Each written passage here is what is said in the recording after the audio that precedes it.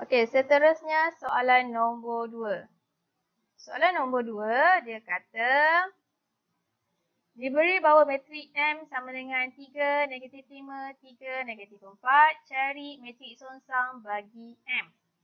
So, nak cari matrik songsang bagi M sama dengan Okey, sama je kalau saya saya tanda dulu macam ni.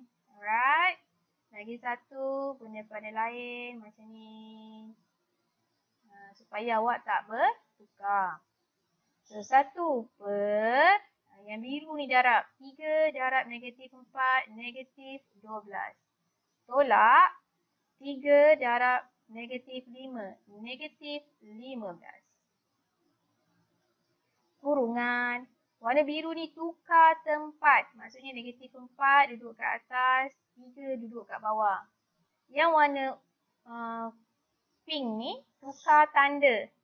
Ini negatif 5. So dia akan jadi 5. Ini 3 akan jadi negatif 3. Okey, selesaikan. So awak akan dapat 1 per Negatif 12 tolak negatif 15. So, akan dapat 1 per 3. Okey, belakang ni salin sahaja. Okey, selesaikan. 1 per 3 darab negatif 4. Negatif 4 per 3. 1 per 3 darab 5. So, dapat 5 per 3. 1 per 3 darab negatif 3 dapat negatif 1. 1 per 3 darab 3 dapat 1. Selesai. Okay, next. Soalan kata, diberi bahawa satu metrik didarabkan dengan metrik dapat yang ni. Ni apa ni?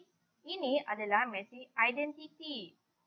1001 kita panggil dia matrix identity kita labelkan dengan huruf I katakan ini saya bagi namanya A kalau ini matrix A apakah matrix sebelahnya ha, ini ialah matrix A songsang sebab bila matrix A darab dengan songsangan bagi A baru dapat identity so soalan kata cari nilai A, B, C dan D siapa nak buat kita carilah songsangan bagi matrik A. Okay. Diberi matrik A ialah ni. 3, negatif 5, 3, negatif 4. Maksudnya kita nak mencari songsangan dia. Okay. Macam biasa saya tanda dulu macam ni. Alright. Okey, lagi satu tanda macam ni. Okey, so matrik songsang sama dengan 1 per 3 darab negatif 4, negatif 12. Tolak 3 darab negatif 5, negatif 15. Kurungan yang warna pink ni kita tukar tempat. Maksudnya tukar tempat negatif 4 naik atas, 3 turun bawah. Negatif 5 dengan 3 tukar tanda. Ni negatif jadi positif. Hmm, tiga ni kan positif, tak ada apa-apa tanda depan dia. Kita letak tanda negatif tiga. Ha, selesai. Okey, kita kira lagi. Satu per, so ni akan dapat tiga. Kurungan negatif empat. Lima, negatif tiga. Tiga. Eh, kita selesaikan. Alright, kita selesaikan. So, akan dapat Ha, ni darab. 1 per 3 darab negatif 4 per 3. Saya dapat negatif 4 per 3. 1 per 3 darab 5. Saya dapat 5 per 3. 1 per 3 darab negatif 3. Negatif 1. 1 per 3 darab 3. 1. So ni jawapan dia. Ha, tapi soalan kata apa? Cari nilai A, B, C dan D. Ha, atas ni A. So kita kena tulis semula. A sama dengan negatif 4 per 3.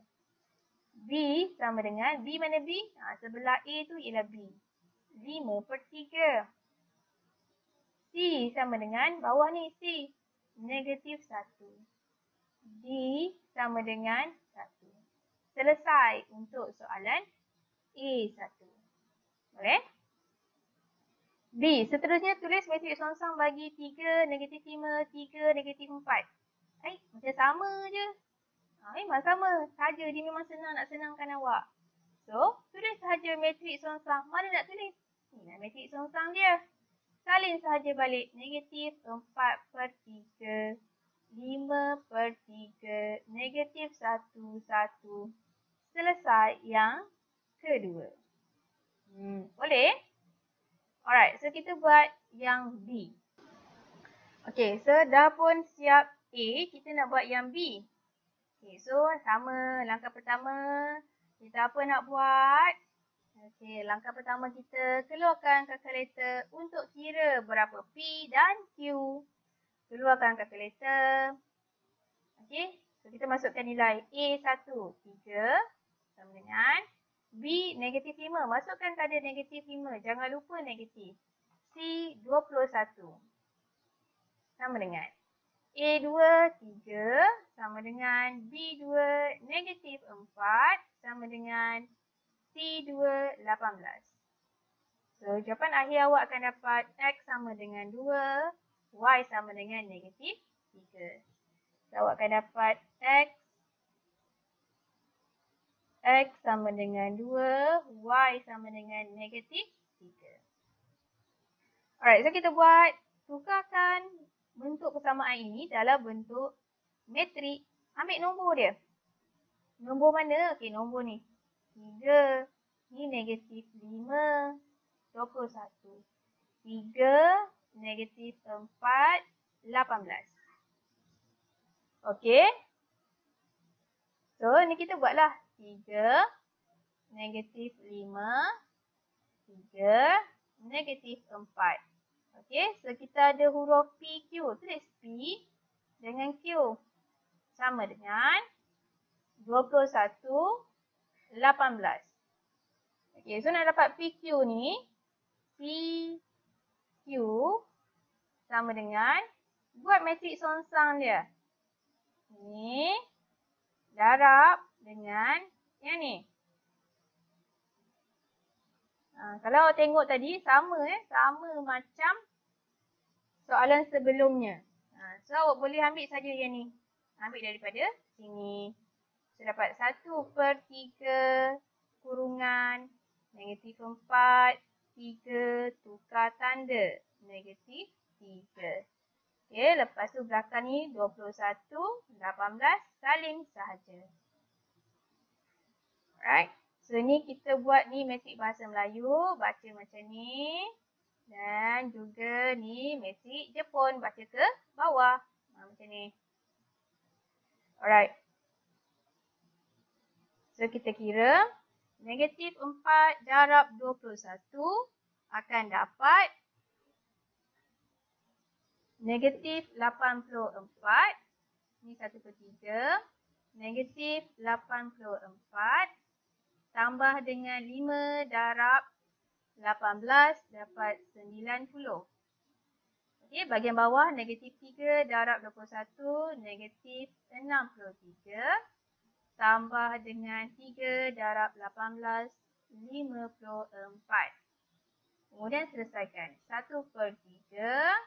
Ha, ni kira lah ni. Negatif 84 tambah 90. So, awak akan dapat 6. Negatif 63 tambah 54 dapat negatif 9. Okay, selesaikan 1 per 3 darab 6. So, dapat 2. 1 per 3 darab negatif 9 dapat negatif 3. Jangan tinggal jawapan macam ni. Kena tulis semula. So, tulis balik X sama dengan 2 dan Y sama dengan bahagian bawah ni, negatif 3. So, tengok yang kita kira tadi, yang ni sama tak? Ha, sama kan? Okay. So, betul lah tu.